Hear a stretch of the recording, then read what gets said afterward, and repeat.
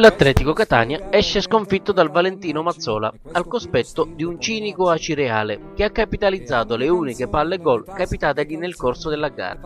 È un risultato sicuramente bugiardo che lascia l'amaro in bocca ai sostenitori atletisti che avevano visto da subito i propri beniamini cingere d'assedio gli ospiti sino al capolavoro di Re Giorgio Corona, che fa letteralmente ammattire i difensori Granata, segnando uno dei gol più belli di questa stagione che manda in visibilio la parte di tifoseria dell'Atletico Catania.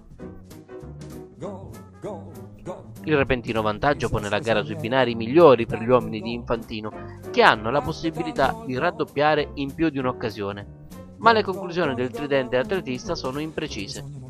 La partita, che ha attirato una buona cornice di pubblico, è sentita e combattuta e dopo i primi 20 minuti iniziali giocati da un ottimo Atletico Catania comincia a venire fuori la squadra ospite, che nel giro di 3 minuti assesta un 1-2 letale per gli atletisti, che determinerà il continuo della gara.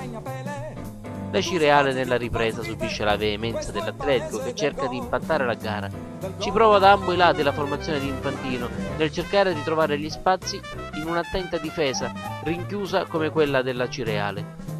Inevitabilmente l'Atletico finisce per scoprirsi e subisce in contropiede la terza rete. È un colpo durissimo che mette in ginocchio i ragazzi di Infantino, che però con orgoglio e grinta combattono sino alla fine della contesa che a 5 minuti dal termine grazie al gol di Concialdi vede diminuire il passivo. I restanti minuti di recupero non servono a recuperare la partita, che finisce 3 a 2 per la Cireale, una partita davvero sfortunata per gli uomini di Piero Infantino.